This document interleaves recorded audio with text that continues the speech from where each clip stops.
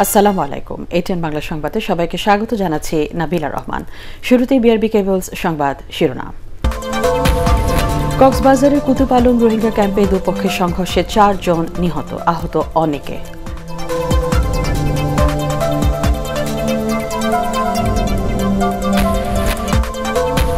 নোয়াখালী নির্যাতনের ঘটনায় আসামিরা রিমান্ডে। রাজধানীতে মিছিলে পুলিশি বাধা, আইনের শাসন থাকায় অপরাধীরা দ্রুত ধরা পড়ছে বললেন স্বরাষ্ট্রমন্ত্রী। সময় মতো প্রণোদনা দেয়ায় ব্যবসা বাণিজ্য আগের অবস্থায় ফিরে যাচ্ছে বললেন প্রধানমন্ত্রী। কৃষি উৎপাদন বাড়ানোর তাগিদ।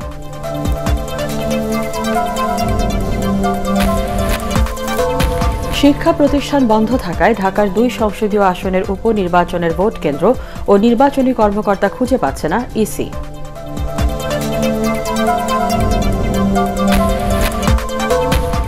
এবং হাসপাতাল থেকে হোয়াইট হাউসে ফিরে মাস্ক খুলে ফের সমালোচনায় মার্কিন প্রেসিডেন্ট ট্রাম্প।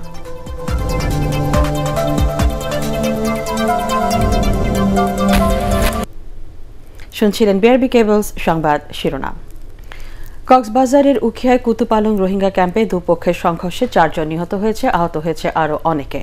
আজ সন্ধ্যায় কুতুপালং শরণার্থী শিবিরে রোহিঙ্গাদের নিজেদের মধ্যে এ সংঘর্ষ হয়। অতিরিক্ত শরণার্থী ত্রাণ ও প্রত্যাবাসন কমিশনার মোহাম্মদ শামসুদ দৌজা জানিয়েছেন এই সংঘর্ষটি ছিল ক্যাম্পে আধিপত্য বিস্তারকে কেন্দ্র করে। এর আগে সকালে নয়জন রোহিঙ্গা ডাকাতকে অস্ত্র ও গুলিসহ আটক করে র্যাব। উখিয়া থানার ভারপ্রাপ্ত কর্মকর্তা আহমদ সঞ্জুর মোর্শেদ জানিয়েছেন, গত তিন দিনে শরণার্থী শিবির থেকে চার রোহিঙ্গার মৃতদেহ উদ্ধার করে পুলিশ। আভ্যন্তরীণ বিবাদ এখানে বিভিন্ন কিছু অনেক সময় রিউমার হয়, এ নিয়ে তাদের মধ্যে অন্ত কলহ থেকে এই বিরুদ্ধ।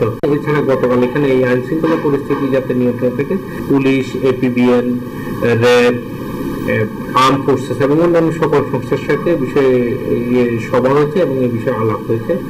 আশা করা যায় এই বিষয়টা দ্রুত ক্যাম্পের পরিস্থিতি শান্ত এবং আইন শৃঙ্খলা বাহিনী যথাযথ পদক্ষেপ নিয়েছে তারা তাদের কার্যক্রম অব্যাহত রাখবে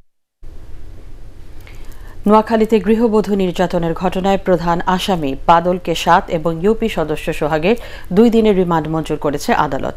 একই ঘটনায় নারায়ণগঞ্জ থেকে গ্রেপ্তার দেলওয়ার বাহিনী প্রধান দেলওয়ারকে অস্ত্র মামলায় দুদিনের রিমান্ড দিয়েছেন নারায়ণগঞ্জের আদালত।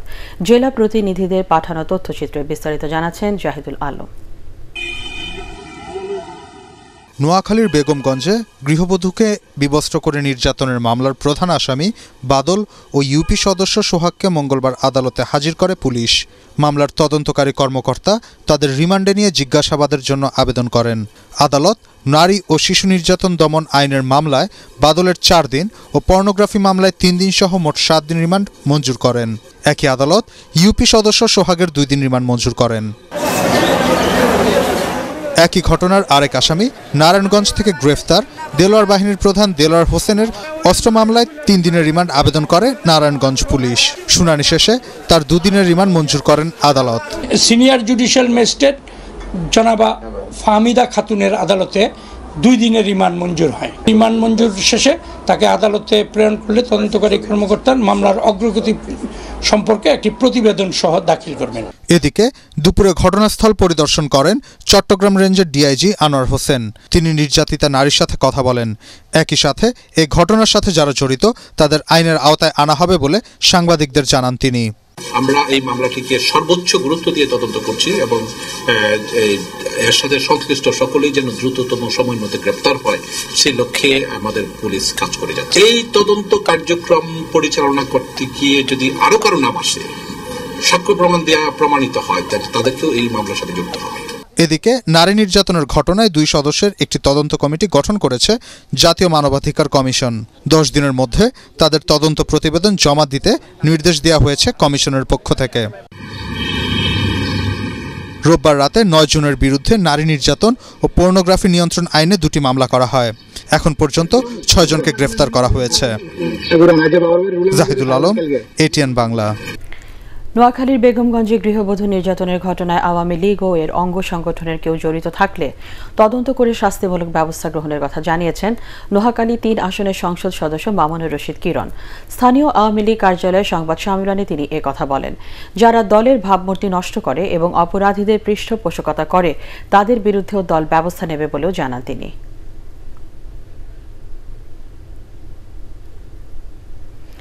রাজধানীর শাহবাগে আজ দ্বিতীয় দিনের মতো ধর্ষণ বিরোধী গণজমায়েত অনুষ্ঠিত হয়। পরে বিক্ষোভকারীরা প্রধানমন্ত্রীর কার্যালয় অভিমুখে কালো পতাকা মিছিল বের করলে পুলিশি বাধার মুখে পড়ে। ছাত্র ইউনিয়ন অভিযোগ করেছে, হোটেল ইন্টারকন্টিনেন্টাল মোড়ে পুলিশের লাঠিপেটায় কমপক্ষে সাতজন আহত হয়েছেন। হাবিবুর রহমান, অভির রিপোর্ট। ধর্ষণ ও নিপীড়ন বিরোধী ছাত্র জনতার কালো পতাকা মিছিলটি হোটেল ইন্টারকন্টিনেন্টাল মোড়ে পুলিশের বাধার মুখে পড়ে। এ সময় শিক্ষার্থীদের সাথে ধস্তাধস্তি হয় পুলিশের। প্রধানমন্ত্রীর কার্যালয়ের অভিমুখী মিছিলটির নেতৃত্বে থাকা ছাত্র ইউনিয়নের অভিযোগ এখানে পুলিশের লাঠিপেটায় কমপক্ষে সাতজন আহত হয়েছেন। আজকে আমরা দেখলাম এই পুলিশের মধ্যে কোনো পরিবর্তন নাই। এর আগে দ্বিতীয় দিনের মতো শাহবাগ মোড়ে সকাল থেকেই জড় হন শিক্ষার্থীরা জাতীয় জাদুঘরের সামনে ধর্ষণ ও নিপীড়ন বিরুদ্ধে ছাত্র জনতার ব্যানারে এই বিক্ষোভ সমাবেশে যোগ দেন বিভিন্ন সংগঠনের নেতাকর্মী অনলাইন অ্যাক্টিভিস্ট ও নারী অধিকার কর্মীরা। পরে বিক্ষোভকারীরা মিছিলটি নিয়ে ঢাকা বিশ্ববিদ্যালয় এলাকায় প্রদক্ষিণ করেন। রাস্তায় গেলে যেন আমাদের এটা মনে ভয় না থাকে যে এরপরে কি নাম্বার আমার হবে বা আমি কি এরপরে ধর্ষিত হব না কি নাকি পরবর্তীতে আমার নাম বা আমার বোনের নাম বা আমার মায়ের নাম ধর্ষিতা খাতায় লেখা হবে। তো আমরা চাই যে আইনটা সংশোধন করে ধর্ষণের মতো একটা জঘন্য অপরাধের শাস্তি দেওয়া মৃত্যুদণ্ড নির্ধারণ করা হোক। যতদিন পর্যন্ত ধর্ষকদের শাস্তি না হবে ততদিন পর্যন্ত এই ধর্ষণ থামবে না। শাহবাগ ছাড়াও রাজধানীর আসাদগেট উত্তরা সহ বিভিন্ন এলাকায় ধর্ষণ বিরোধী প্রতিবাদ সমাবেশ অনুষ্ঠিত হয়। হাবিবুর রহমান অফি এটিএন বাংলা ঢাকা। এদিকে ধর্ষণের সর্বোচ্চ শাস্তি মৃত্যুদণ্ডের দাবি জানিয়েছে ছাত্রলীগ। দ্রুত সময় ধর্ষকদের শাস্তি কার্যকর করা গেলে সারা দেশে নারী নির্যাতন কমে আসবে বলে মনে করছে সংগঠনটি। ঢাকা বিশ্ববিদ্যালয়ের রাজু ভাস্কর্যে মশাল মিছিল থেকে এসব কথা বলেন ছাত্রলীগের কেন্দ্রীয় নেতারা। মিছিলে ঢাকা বিশ্ববিদ্যালয় সহ বিভিন্ন শিক্ষা প্রতিষ্ঠানের নেতাকর্মীরা অংশ নেন। মশাল মিছিলটি রাজু ভাস্কর্য থেকে শুরু হয়ে শহীদ মিনারে গিয়ে শেষ হয়।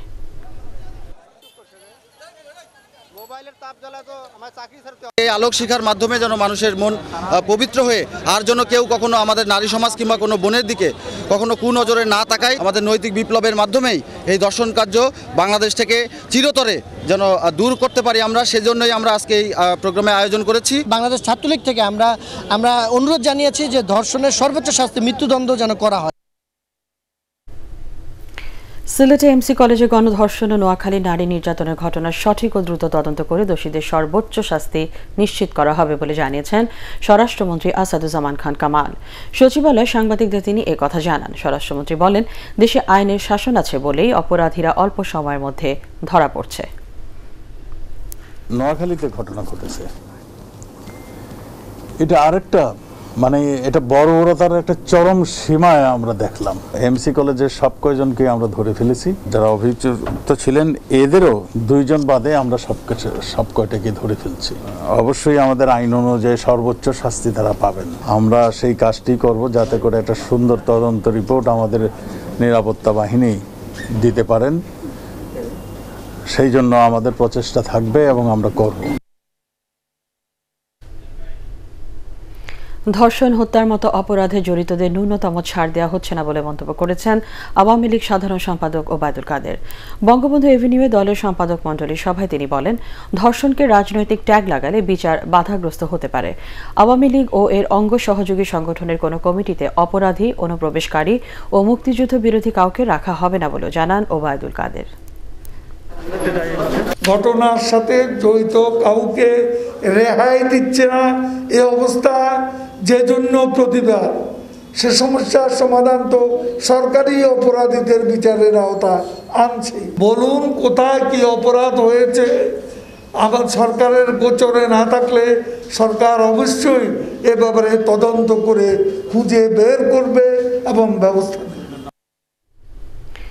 দুর্বৃত্তরা রাষ্ট্রীয় মদত পাওয়ায় সারা দেশে ধর্ষণ সহ নারীর প্রতি সহিংসতা ভয়াবহ রূপ নিয়েছে বলে অভিযোগ করেছেন বিএনপি সিনিয়র যুগ্ম মহাসচিব রুহুল কবির রিজভি। জাতীয় প্রেস ক্লাবে ওলামা দলের প্রতিষ্ঠা বার্ষিকী উপলক্ষে এক সভায় তিনি বলেন জনগণ নির্যাতনের প্রতিকারও চাইতে পারছে না। সরকার পায়ের নিচের মাটি একবারে টলমল করে উঠেছে অতএব দৃষ্টিটাকে অন্যদিকে ফেরাতে হবে। এই যারা সারা দেশে নারী নির্যাতনের এবং নারীর প্রতি যে সম্ভ্রমানের যে কলঙ্কিত রূপ এই আওয়ামী লীগের আমলে বিস্তার লাভ করেছে। প্রতি বছর একটা থেকে একটা নতুন দৃষ্টান্ত। বিচারের ধীরগতি ও বিচারহীনতার সংস্কৃতির কারণে দেশে ধর্ষণের ঘটনা মহামারী আকার ধারণ করেছে বলে মনে করেন সাবেক আইনমন্ত্রী ব্যারিস্টার শফিক আহমেদ। মহিলা আইনজীবী সমিতির সভাপতি ফাউজিয়া করিম ফিরোজের মতে, আইনে কঠোর নির্দেশনা থাকলেও রাজনৈতিক প্রভাব, তদন্ত ও বিচার প্রক্রিয়ায় অদক্ষতার কারণে ধর্ষণ মামলা দ্রুত নিষ্পত্তি হচ্ছে না। হুমায়ুন চিশতি রিপোর্ট। আইন বিশেষজ্ঞরা বলছেন রাজনৈতিক প্রভাব ও দৃষ্টান্তমূলক সাজার অভাবেই বাড়ছে ধর্ষণের মতো এমন জঘন্য অপরাধ। এই যে একটা বিচারহীনতার সংস্কৃতি আমরা প্রত্যক্ষ করছি এতে করে কিন্তু এটার প্রবণতা বেড়ে যাবে। যাদের গডফাদার আছে তারাই কিন্তু এই মানে এটা করছে। সাধারণ লোক কিন্তু খুব কম। পুলিশ যে মুহূর্তে ধরবে তার পনেরো দিনের মধ্যে তদন্ত শেষ করতে হবে। আর তদন্ত টাইম হলো সিক্সটি ডেজ আর ট্রায়ালও বলেছে যে একশো আশি দিনের মধ্যে আপনাকে শেষ করতে হবে একটা আনা ট্রায়াল করতে হবে। এই টাইমের মধ্যে করতে পারলেই তো আপনি দ্রুত বিচার হয়ে যাবে। কিন্তু আমরা সেটা করছি না তো। এ পরিস্থিতি থেকে উত্তরণে করণীয় নিয়েও পরামর্শ দেন তারা। গতিতে ইনভেস্টিগেশন করে এবং এই তদন্ত রিপোর্ট দিয়ে বিচার কাজ শেষ করে সাজার ব্যবস্থা করা। ঝুলে থাকলে কিন্তু মনে করবে কিছুই হবে না। একদম পাঠশালা থেকে বা প্রাইমারি লেভেল থেকে ইথিক্স এন্ড মরাল আপনাকে ক্যারিকুলামে আনতে হবে। কোনটা ন্যায়, কোনটা অন্যায়, একদম মানে লেভেল থেকে ফ্যামিলি লেভেল থেকে এবং ইয়েথ লেভেল থেকে আপনার আসতে হবে। এদিকে দেশজুড়ে ধর্ষণের ঘটনার প্রতিবাদে সুপ্রিম কোর্ট প্রাঙ্গণে মানববন্ধন ও বিক্ষোভ করে আইনজীবীদের বিভিন্ন সংগঠন। এ সময় ধর্ষকদের কঠোর সাজা নিশ্চিতের দাবি জানান সুপ্রিম কোর্ট বারের সম্পাদক। দৃষ্টান্তমূলক শাস্তি দিতে হবে। যারা যে ধরনের রাজনৈতিক প্রশ্রয় থাকুক না কেন তাদের মুখোশ উন্মোচন করতে হবে। অগ্রাধিকার ভিত্তিতে শুনানি করে ধর্ষণের সব মামলা দ্রুত নিষ্পত্তির দাবিও জানান তারা। হুমায়ুন চিস্তি এটিএন বাংলা ঢাকা। দেশে যেন খাদ্য সংকট না হয় সেজন্য কৃষি উৎপাদন বাড়ানোর তাগিদ দিয়েছেন প্রধানমন্ত্রী শেখ হাসিনা। গণভবনে একনেক সভায় তিনি বলেন অর্থনীতি গতিশীল রাখতে সময় মতো প্রণোদনা দেয় ব্যবসা বাণিজ্য আগের অবস্থায় ফিরে যাচ্ছে। সভা চারটি উন্নয়ন প্রকল্পে প্রায় এক হাজার ছয়শো উনষাট কোটি টাকা অনুমোদন দেওয়া হয়। বিস্তারিত আপেল মাহমুদের রিপোর্টে। পরিকল্পনা মন্ত্রণালয়ে জাতীয় অর্থনৈতিক পরিষদের নির্বাহী কমিটি একনেক সভায় গণভবন থেকে ভিডিও কনফারেন্সে যোগ দেন প্রধানমন্ত্রী শেখ হাসিনা। সভায় বর্তমানে দেশে খাদ্য উৎপাদন ও ব্যবসা বাণিজ্যের সার্বিক অবস্থা নিয়ে আলোচনা করেন তিনি। দেশের অর্থনীতি গতিশীল রাখতে সরকারের সঠিক পদক্ষেপে ব্যবসায়ীরা করোনার ক্ষতি কাটিয়ে উঠছেন বলেও মন্তব্য করেন প্রধানমন্ত্রী। কৃষিকে আমরা গুরুত্ব দিয়েছিলাম এই কারণে যে আমি যেটা প্রথমেই বলেছিলাম যে কৃষি আমাদেরকে ধরে রাখতে হবে, কারণ খাদ্য উৎপাদনটা বাড়াতে হবে। মানুষের যেন খাবারে কষ্ট না হয়, সেটা আমরা কিন্তু ধরে রেখেছি। আবার ব্যবসা বাণিজ্যের ক্ষেত্রে আপনি দেখবেন যে আমরা যে প্রণোদনাটা দিয়েছি এই প্রণোদনাটা যখনই এরা নিতে শুরু করেছে তখনই কিন্তু তাদের আস্তে আস্তে ব্যবসাতে আবার তা ফিরে আসতে পারছে। পরে সংবাদ সম্মেলনে পরিকল্পনা মন্ত্রী বলেন দেশের অর্থনীতি ঘুরে দাঁড়ানোর চেষ্টা করলেও করোনার প্রভাবে মানুষের আয় প্রায় বিশ ভাগ কমে গেছে। মাসে খানা জরিপের খানা ভিত্তিক আয় কত ছিল? উনিশ হাজার চারশো পঁচিশ টাকা। আগস্ট মাসে এই আঘাতের ফলে নেমে আসলো পনেরো হাজার চারশো বিরানব্বই টাকায়। তো ধরুন বিশ থেকে সাড়ে সাড়ে পনেরোর মতো এই ফলটা মেজার করা হলো বিশ দশমিক দুই চার ভাগে। কক্সবাজারে রোহিঙ্গাদের কারণে স্থানীয়দের সংকট মোকাবেলায় অবকাঠামো উন্নয়ন, মহিলাদের আত্মকর্মসংস্থান, চট্টগ্রামে উপকূলীয় এলাকায় ক্ষতিগ্রস্তদের পুনর্বাসন সহ চারটি প্রকল্পে এক হাজার ছয়শো উনষাট কোটি চৌত্রিশ লাখ টাকার বরাদ্দ অনুমোদন দেয় একনেক আপেল মাহমুদ, এটিএন বাংলা, ঢাকা। শিক্ষা প্রতিষ্ঠান বন্ধ থাকায় ঢাকার দুই সংসদীয় আসনের উপনির্বাচনে কেন্দ্র স্থাপন ও ভোট গ্রহণ কর্মকর্তা নিয়োগে জটিলতায় পড়েছে নির্বাচন কমিশন। রিটার্নিং কর্মকর্তা জি এম সাহতাবুদ্দিন জানিয়েছেন, দীর্ঘদিন বন্ধ থাকায় কিছু কিছু শিক্ষা প্রতিষ্ঠান ভাড়া বাড়ি ছেড়ে দিয়েছে, ফলে বিকল্প জায়গায় কেন্দ্র স্থাপন করা হচ্ছে। বিস্তারিত একরামুল হক সাইমের রিপোর্টে। দু একটি ব্যতিক্রম ছাড়া সব নির্বাচনেই বেশিরভাগ ভোট কেন্দ্র স্থাপিত হয় সরকারি বেসরকারি স্কুল কলেজগুলোতে। তবে করোনা পরিস্থিতিতে সাত মাসেরও বেশি সময় ধরে বন্ধ সব ধরনের শিক্ষা প্রতিষ্ঠান। অনিশ্চিত এই পরিস্থিতিতে খরচের বোঝা না বাড়াতে ভাড়া বাড়ি ছেড়ে দিয়েছে কোনো কোনো প্রতিষ্ঠান। আর এতেই ঢাকা পাঁচ ও ঢাকা আঠারো সংসদীয় আসনের উপনির্বাচন নিয়ে বিপাকে পড়েছে নির্বাচন কমিশন। আমরা বিভিন্ন প্রতিষ্ঠানের সঙ্গে, প্রতিষ্ঠান প্রধানের সঙ্গে আলোচনা করছি আলোচনা করছি। যে প্রতিষ্ঠানগুলো বন্ধ থাকলেও তো প্রতিষ্ঠানের অবকাঠামোগুলো তো আমরা ব্যবহার করব আসলে। বিকল্প চিন্তা যেখানে করতে হচ্ছে সেখানে বিকল্প প্রতিষ্ঠান আছে। ঢাকা মহানগরীতে পার্শ্ববর্তী অনেক প্রতিষ্ঠান রয়েছে। সেগুলো আমরা নীতিমালা অনুসারেই আমরা সেগুলোকে ভোট কেন্দ্র হিসেবে তৈরি করেছি। স্কুল, কলেজের শিক্ষকদের অনেকে ঢাকা ছাড়ায় ভোট গ্রহণ কর্মকর্তা নিয়োগ দিতেও হিমশিম খাচ্ছেন নির্বাচনী কর্মকর্তারা। যদিও রিটার্নিং কর্মকর্তা বলছেন, ঢাকা পাঁচ আসনের ভোটের এসব প্রস্তুতি প্রায় শেষ। ঢাকা আঠারো আসনের ক্ষেত্রেও দ্রুত সমস্যার সমাধান হবে বলে আশা তার। ভোট গ্রহণ কর্মকর্তা হিসেবে তাদেরকে আমরা উম, নীতিমালা অনুসারে নিয়োগ দিব। তারা তাদের উপর অর্পিত দায়িত্ব যথাযথভাবে পালন করবে। ইভিএম এ ইলেকশন হবে। ইভিএম এর মানে আহ, ভোটদানের কিছু নীতিমালা আছে আছে। তার জন্য আমরা একই কেন্দ্রে হয়তো দুটো ভাগ করে দিয়েছি পুরুষ মহিলা ভাগ করে দিয়েছি। নির্বাচন কমিশনের পক্ষ থেকে আমরা ভোটারদের উদ্বুদ্ধ করব এবং বিশেষ করে যারা ভোটার তারা তো সচেতন নাগরিক তারা তার পছন্দের প্রার্থীকে ভোট দিতে অবশ্যই ভোট কেন্দ্রে আসবে। সতেরো অক্টোবর ঢাকা পাঁচ আসনে একশো সাতাশিটি কেন্দ্রে এবং বারো নভেম্বর ঢাকা আঠারো আসনে দুশো পনেরোটি কেন্দ্রে উপনির্বাচনের ভোট গ্রহণ হবে। ইকরামুল হক, সায়েম, এটিএন বাংলা, ঢাকা। ভিসার মেয়াদকে অগ্রাধিকার দিয়ে টিকিট বিতরণ শুরু হলো সংকট কাটছে না সৌদি প্রবাসীদের। বাংলাদেশ বিমানে টিকিট পাওয়া কিছুটা সহজ হলেও ভোগান্তি রয়েছে সৌদিয়া এয়ারলাইন্সে। টিকিটের ফর্ম পূরণ করতে গিয়েও হয়রানির শিকার হচ্ছেন প্রবাসীরা। শরীফুল ইসলাম শামীমের, শফিকুল ইসলাম শামীমের রিপোর্ট। শুরু থেকেই সৌদি আরব প্রবাসীদের দাবি ছিল যাদের ভিসার মেয়াদ শেষের দিকে তাদের আগে রিটার্ন টিকিট দেয়ার। এর আগে টিকিটের দাবিতে কাউন্টারের বাইরে বিক্ষোভ রাস্তা অবরোধ সহ নানা রকম কর্মসূচি পালন করলেও সে পরিস্থিতি এখন শান্ত। অনেকে আবার টিকিট পাওয়ার একদিনের মধ্যে যাওয়ার নির্দেশনায় পড়েছেন বিপাকে। এখন বলছে করোনা টেস্ট করতে হবে টেস্ট করে তোমার কালকে সকাল আটটায় এয়ারপোর্টে যেতে হবে। এয়ারপোর্টে থেকে বেলা দুইটায় তোমার ফ্লাইট এখন কীভাবে? বাসা হলো সাতক্ষীরায়। এই যে এখন ওকে করে দিবে। মহাকালী কখন যাব টেস্ট কখন করব রিপোর্ট কখন আসবে, এটা তো বলতে পারি না।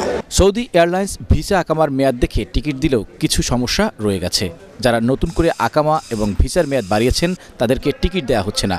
অথচ নিয়োগকারী তাদের দ্রুত যেতে বললেও এয়ারলাইন্স কর্তৃপক্ষ তা আমলে নিচ্ছেন না। তিরিশ তারিখে আমার ছুটি শেষ। মালিক আমার তিন মাসের ছুটি এক্সটেনশন করাইছে বাড়াইছে। এখন মালিক বলতেছে এই মাসের ভিতরে আমাকে ঢুকার জন্য চাকরি নাহলে চাকরি থাকবে না। আমি দুই লক্ষ তিরিশ হাজার টাকা বাংলাদেশ থেকে ওখানে ফাটাইছি ফাটাবার পর আমার আকামা বানিয়ে দিছে। তাদের বিশাল মেয়াদ গেছে ওদেরকে দিবে? আমাদের মেয়াদ বাড়ানো মেয়াদ বাড়ান কি আঙ্গ অপরাধ? বিশাল মেয়াদ তিরিশ তারিখে শেষ হয়ে গেছে। আমি কোম্পানি রিকোয়েস্ট করে কোম্পানিতে বাড়াইছি। কোম্পানি কইছে যদি পনেরো দিনের মধ্যে না আসতে পারো তা আবার ফিরে তোমার ক্যান্সেল সোমবার থেকে অগ্রাধিকার ভিত্তিতে টিকিট দিচ্ছে সৌদি এয়ারলাইন্স ও বিমান। ফর্ম পূরণ করার পর প্রবাসীদের ফোন করে টিকিট নিতে আসতে বলা হয়েছে। ফলে এয়ারলাইন্স অফিসের সামনে প্রবাসীদের ভিড়ও কম হচ্ছে। শফিকুল ইসলাম শামীম, এটিএন বাংলা, ঢাকা। আন্তর্জাতিক। করোনায় আক্রান্ত হয়ে টানা তিন রাত হাসপাতালে কাটানোর পর নাটকীয়ভাবে হোয়াইট হাউসে ফিরেছেন মার্কিন প্রেসিডেন্ট ডোনাল্ড ট্রাম্প। ক্যামেরার সামনে মাস্ক খুলে পকেটে ভরেন তিনি। প্রকাশ করেন নিজের শক্তি, সামর্থ্য। এরই মধ্যে করোনা ভাইরাসে আক্রান্ত হয়েছেন প্রেসিডেন্টের প্রেস সেক্রেটারি সহ হোয়াইট হাউসে যাতায়াতকারী অন্তত বারো জন। এই অবস্থায় ভাইরাস সংক্রমণ রোধে ট্রাম্প কতটুকু দায়িত্বশীল তা নিয়ে প্রশ্ন তুলেছে বিভিন্ন গণমাধ্যম। বরকতুল্লাহ সুজন জানাচ্ছেন বিস্তারিত। Walter Reed National Military Medical Center থেকে আচমকা বেরিয়ে সবাইকে চমকে দিলেন মার্কিন president Donald Trump. Suited booted অবস্থায় বেশ চকচকে আর সতেজ মনে হচ্ছিল তাকে। সাংবাদিকদের প্রশ্ন এড়িয়ে গেলেও গাড়িতে ওঠার ফাঁকে নিজের সেই শক্তি সামর্থ্য জানান দিতে ভোলেননি president Trump.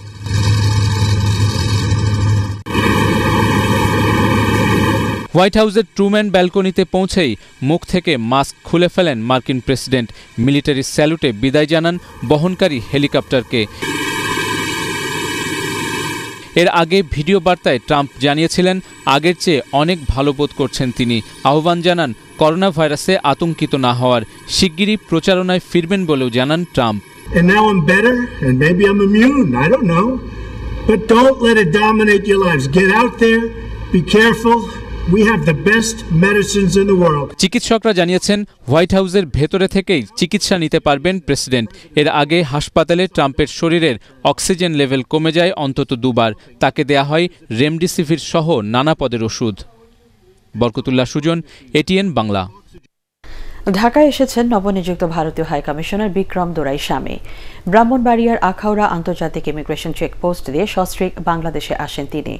Vikram Doraiswamy ঢাকায় ভারতের সতেরোতম হাইকমিশনার হিসেবে দায়িত্ব পালন করতে যাচ্ছেন। রিভা গাঙ্গুলি দাসের স্থলাভিষিক্ত হচ্ছেন তিনি। বিক্রম দোরাই স্বামী এর আগে ভারতের পররাষ্ট্র মন্ত্রণালয় অতিরিক্ত সচিবের দায়িত্ব পালন করেছেন। মেডিকেল ভর্তি পরীক্ষার প্রশ্নপত্র ফাঁস চক্রের মূল হোতা আব্দুল সালামের পাঁচ দিনের রিমান্ড মঞ্জুর করেছে আদালত। এর আগে রাজধানী বনশ্রী এলাকায় অভিযান চাইলে তাকে গ্রেপ্তার করে সিআইডি। সংবাদ ব্রিফিংয়ে সিআইডি জানায়, আব্দুল সালাম স্বাস্থ্য শিক্ষা ব্যুরোর মেশিন ম্যান। এর আগে এই চক্রের সাথে জড়িত আরও কয়েকজনকে গ্রেপ্তারের পর তাদের জিজ্ঞাসাবাদের ভিত্তিতে সালামকে গ্রেপ্তার করা হয়। ঘটনার সাথে যারা যারা জড়িত, যারা তাদের ব্যাপারে আমরা তাদেরকে আইনের আওতায় নিয়ে আসব। তারা যে অবৈধ সম্পত্তি করেছে, এই সম্পত্তি মানি লন্ডারিং আইনে মামলা হবে এবং এই মামলা যে, যেটা হয়, যে প্রমাণিত হলে তাদের এই সম্পত্তি বাজেয়াপ্ত হবে এবং রাষ্ট্রীয় কোষাগারে জমা হবে।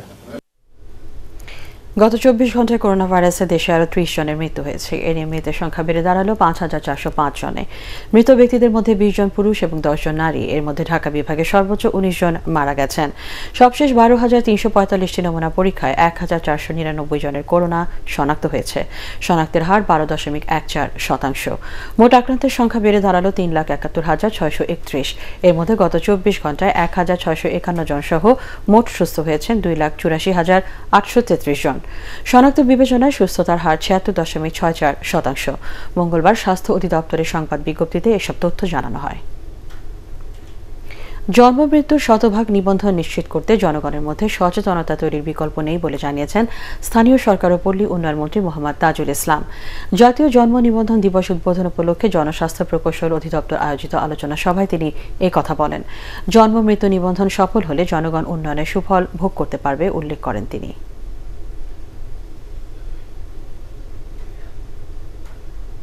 আল আরাফা ইসলামী ব্যাংক অর্থ সংবাদ।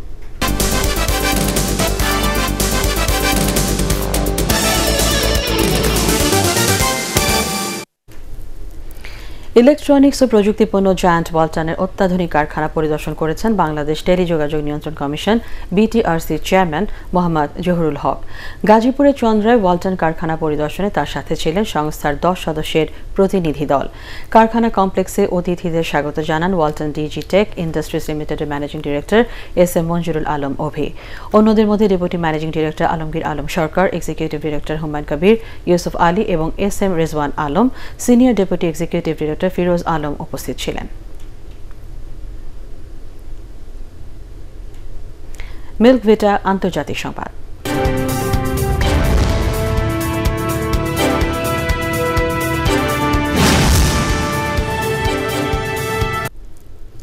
চীনকে প্রতিহত করতে টোকিওতে চার দেশের মধ্যে কোয়াড বৈঠক অনুষ্ঠিত হয়েছে। ভারত ও প্রশান্ত মহাসাগরে অবাধ ও স্বাধীন নৌ চলাচল নিশ্চিতের যুক্তি দেখিয়ে দু সালে যুক্তরাষ্ট্র, জাপান, অস্ট্রেলিয়া ও ভারতের মধ্যে কোয়াড নামে এই সংলাপ শুরু হয়। এর আওতায় এই চার দেশের পররাষ্ট্রমন্ত্রী টোকিওতে দুদিনব্যাপী বৈঠক করেন বলে জানিয়েছে বিবিসি। চীনকে কীভাবে মোকাবেলা করা হবে সে বিষয়ে আলোচনা করতেই এই বৈঠক বলে জানিয়েছেন মার্কিন পররাষ্ট্রমন্ত্রী মাইক পম্পেও। এদিকে এই বৈঠককে কেন্দ্র করে ক্ষুব্ধ চীন বৈঠক চলাকালে নৌ ও বিমান মহড়ার ঘোষণা দিয়েছে দেশটি। মহাবিশ্বের অন্যতম রহস্য ঘেরা ব্ল্যাক হোল বা কৃষ্ণ গহ্বর নিয়ে গবেষণায় এবছর পদার্থবিজ্ঞানে নোবেল পুরস্কার পেয়েছেন তিন বিজ্ঞানী। রয়্যাল সুইডিশ একাডেমি আজ তাদের নাম ঘোষণা করে। নোবেল জয়ীরা হলেন অক্সফোর্ড বিশ্ববিদ্যালয়ের পদার্থবিজ্ঞানী রজার পেনরোজ, মার্কিন জ্যোতির্বিদ রেইনহার গেঞ্জেল ও জার্মান পদার্থবিদ আন্ড্রিয়া ঘেইস। এই তিন বিজ্ঞানী তাদের গবেষণার মাধ্যমে ব্ল্যাক হোল সম্পর্কে নতুন তথ্য সামনে এনেছেন বলে জানিয়েছে রয়্যাল সুইডিশ একাডেমি। আগামী দশ ডিসেম্বর সুইডেনের রাজধানী স্টকহোমে আনুষ্ঠানিকভাবে তাদের হাতে এ পুরস্কার তুলে দেওয়া হবে। করোনায় আক্রান্ত হলেন পশ্চিমবঙ্গের বাংলা চলচ্চিত্রের প্রবীণ অভিনেতা সৌমিত্র চট্টোপাধ্যায়। মঙ্গলবার সকালে তার করোনা টেস্টের রিপোর্ট পজিটিভ আসে। দেশটির সংবাদ মাধ্যমগুলো জানায়, এরই মধ্যে বর্ষিয়ান এই অভিনেতাকে কলকাতার বেলভিউ হাসপাতালে ভর্তি করা হয়েছে। বর্তমানে তার অবস্থা স্থিতিশীল রয়েছে বলে জানিয়েছেন চিকিৎসকরা। নিজের উপর নির্মিত একটি তথ্যচিত্রে কাজ করছিলেন সৌমিত্র চট্টোপাধ্যায়। এর মাঝেই তার করোনা পজিটিভ হওয়ায় বন্ধ হয়ে যায় এই আত্মজীবনীর কাজ। এর আগে অভিযান নামে একটি সিনেমার শুটিং শেষ করেন তিনি। পরিবারের ধারণা, শুটিং ফ্লোর থেকে করোনা সংক্রমিত হতে পারেন সৌমিত্র। পার্টেক্স খেলার খবর।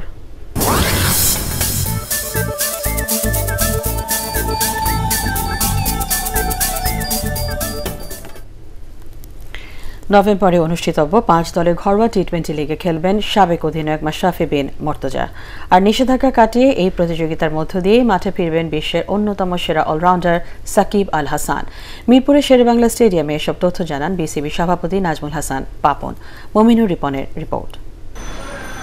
করোনা ভাইরাসের কারণে এই সময়ে টাইগারদের আন্তর্জাতিক কোনো ম্যাচ নেই। তাই ক্রিকেটারদের ফিটনেস ধরে রাখতে ঘরোয়া প্রতিযোগিতায় বেশি জোর দিচ্ছে বিসিবি। দুদিনের দুটি প্রস্তুতি ম্যাচ এরই মধ্যে শেষ হয়েছে। আগামী এগারো অক্টোবর থেকে তিন দল নিয়ে শুরু হবে one day series. Tamim Iqbal, Mahmudullah Riyad ও নাজমুল হোসেন শান্তর নেতৃত্ব দেওয়া এই প্রতিযোগিতা শেষ হবে তেইশ অক্টোবর। ওয়ানডে টুর্নামেন্ট হবে এবং এই তিনটাতে ম্যাক্সিমাম মানে যে খেলোয়াড়কে আমরা অন্তর্ভুক্ত করতে পারি এবং শর্ত হচ্ছে প্রতি প্লেয়ারকেই প্রতি টিমের যতগুলো প্লেয়ার আছে, পনেরো জন করে থাকবে অন্তত দুটো ম্যাচ খেলার সুযোগ পেতে হবে। পাঁচ দল নিয়ে আগামী পনেরো নভেম্বর থেকে টি টোয়েন্টি টুর্নামেন্ট আয়োজনের কথা ভাবছে বিসিবি আন্তর্জাতিক টি টোয়েন্টি ক্রিকেটকে বিদায় জানালেও এই প্রতিযোগিতায় দেখা যেতে পারে সাবেক অধিনায়ক মাশরাফি বিন মর্তুজাকে। সেই সাথে নিষেধাজ্ঞার মেয়াদ শেষ হয় এই টুর্নামেন্ট খেলবেন সাকিব আল হাসানও। আলোচনা চলছে বিদেশি ক্রিকেটারদের অংশগ্রহণ নিয়েও। বিদেশি প্লেয়ার থাকবে কিনা, ওটা কি মানে অক্সর হবে না ওপেন করে দেওয়া হবে? ওরা যার যার মতো নিয়ে আসবে। এই জিনিসগুলো এখনও হয়নি, তবে অপশনই হবে। প্রিপারেশন ও আসলে হঠাৎ করে শুনেছে ওর কোয়ারেন্টাইন প্রথম কথা চোখে তো কোয়ারেন্টাইনে থাকতে হবে এসে। ওর কোয়ারেন্টাইন অ্যান্ড প্রিপারেশন ফিটনেস এটার জন্য একটু সময় লাগবে সেই জন্য বাট নেক্সট যে অ্যাভেলেবল টুর্নামেন্টই হোক, সে খেলবে। তাছাড়া ক্রিকেটারদের বায়োসিকিউরিটি বাবুলের সুরক্ষা বলয়ের মধ্যে রেখে বাংলাদেশ প্রিমিয়ার লিগ বিপিএল আয়োজনের কথাও ভাবছে cricket board Mominur Ripon, ATN Bangla, Dhaka. জাতির জনক বঙ্গবন্ধু শেখ মুজিবুর রহমানের জন্ম শতবার্ষিকী উপলক্ষে চট্টগ্রামে নয় অক্টোবর থেকে শুরু হচ্ছে মুজিব শতবর্ষ ফুটবল টুর্নামেন্ট। অংশ নেবে চট্টগ্রামে চার দলের শতাধিক ফুটবলার। প্রত্যেকেই কোভিড টেস্ট করানো হবে। এম এ আজিজ স্টেডিয়ামে এক সংবাদ সম্মেলনে আয়োজকরা জানান, স্বাস্থ্যবিধি মেনে পরিচালিত হবে এই টুর্নামেন্ট। আফগানিস্তানের top order batsman Najib Tarakai মারা গেছেন। সেদেশের ক্রিকেট বোর্ড এ খবর নিশ্চিত করেছে। উনত্রিশ বছর বয়সী আফগান জাতীয় দলের এই ব্যাটসম্যান গত শুক্রবার সড়ক দুর্ঘটনায় মারাত্মকভাবে আহত হন। চিকিৎসাধীন অবস্থায় তিনি হাসপাতালেই মারা যান। দু হাজার চোদ্দ সালে বাংলাদেশে টি টোয়েন্টি বিশ্বকাপে আফগানিস্তান জাতীয় দলে নাজিবের অভিষেক হয়। এই ফর্মেটে তার রান দুইশো আটান্ন। তাছাড়া দু হাজার সতেরো সালে আয়ারল্যান্ডের বিপক্ষে তার ওয়ানডে অভিষেক হয়। শেষ করার আগে বিআরবি কেবলস সংবাদ শিরোনাম জানিয়ে দিচ্ছি আরেকবার। কক্সবাজারের কুতুপালং রোহিঙ্গা ক্যাম্পে দুপক্ষের সংঘর্ষে চারজন নিহত, আহত অনেকে।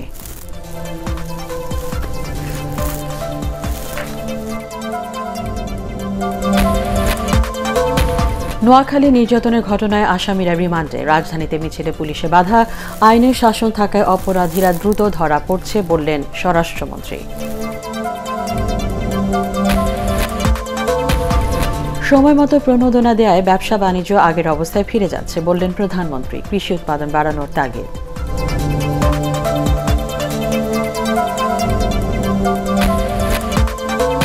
শিক্ষা প্রতিষ্ঠান বন্ধ থাকায় ঢাকার দুই সংসদীয় আসনের উপনির্বাচনের ভোট কেন্দ্র ও নির্বাচনী কর্মকর্তা খুঁজে পাচ্ছে না ইসি।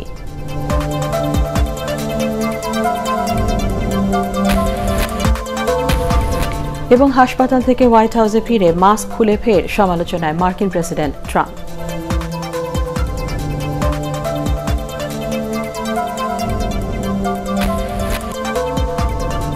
পরবর্তী সংবাদ দেখার আমন্ত্রণ জানিয়ে এখনকার মতো শেষ করছি। করোনা ভাইরাস থেকে নিজেকে সুরক্ষিত রাখতে মাস্ক পরুন, বারবার হাত পরিষ্কার করুন। এটিন বাংলা সংবাদ, ইউটিউবে দেখতে ব্রাউজ করুন, YouTube slash ATN Bangla news